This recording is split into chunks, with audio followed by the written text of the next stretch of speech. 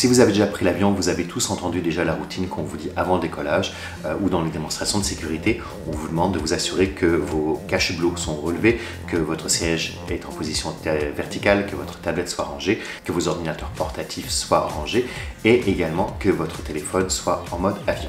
Alors pour les quatre premiers, ça se justifie. Le cache bleu doit être ouvert parce que si jamais il y a un incendie à l'extérieur, vous devez être capable de le voir parce que ben, n'y a pas de rétroviseur sur le cockpit. Donc l'information va venir de ce que nous on voit en tant qu'agent de bord, mais également ce que vous voyez en tant que passager relever le dossier de son siège et la tablette, simplement si on doit évacuer, on a 90 secondes pour le faire. Et donc bah, tout ça, ça pourrait retarder votre débarquement, donc ça doit être rangé. Les ordinateurs portables, c'est la même chose, ça pourrait devenir des, projectiles, surtout en cas de, forte turbulence, donc euh, en général les pochettes des sièges sont pas assez solides pour pouvoir les ranger, donc ils doivent être rangés correctement.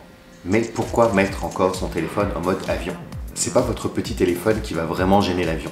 Ce qu'il faut savoir, c'est que euh, depuis les années 1920, donc ça remonte, hein, ça fait plus d'un siècle, euh, les fréquences radio et les communications aériennes reposent sur des, fréquences, des coordonnées qui ont été euh, justement adaptées pour ne pas interférer les unes avec les autres. La technologie numérique actuellement utilisée est beaucoup plus avancée que certaines des technologies analogiques et plus anciennes que nous utilisions même il y a 60 ans. La recherche a montré que les appareils électroniques portatifs, personnels, peuvent émettre un signal dans la même bande de fréquence que les systèmes de communication et de navigation de l'avion, fréquences qu'on appelle des interférences électromagnétiques. Une étude a été faite en 1992 par l'aviation civile américaine, qu'on appelle FAA, et Boeing pour vérifier si effectivement euh, nos téléphones, nos appareils électroniques n'interfèrent pas avec les communications de l'avion. Souvenez-vous, en 1992, il n'y a pas grand monde qui avait encore un téléphone portable à l'époque. C'était vraiment très très nouveau. Et quand on avait un, c'était la grosse brique qu'on devrait se transporter. La FAA a également commencé à créer des bandes passantes réservées pour les communications de différentes utilisations, comme les téléphones portables, la navigation aérienne, pour qu'ils n'interfèrent pas les unes avec les autres. Et les gouvernements du monde entier ont fait exactement la même chose. Donc le monde s'est aligné pour que justement il n'y ait pas de souci entre votre téléphone et les communications d'avion. Alors pourquoi est-ce qu'on interdit l'utilisation des téléphones portables pendant les phases de décollage et d'atterrissage? Là, on pourrait capter encore le signal avant d'être en altitude.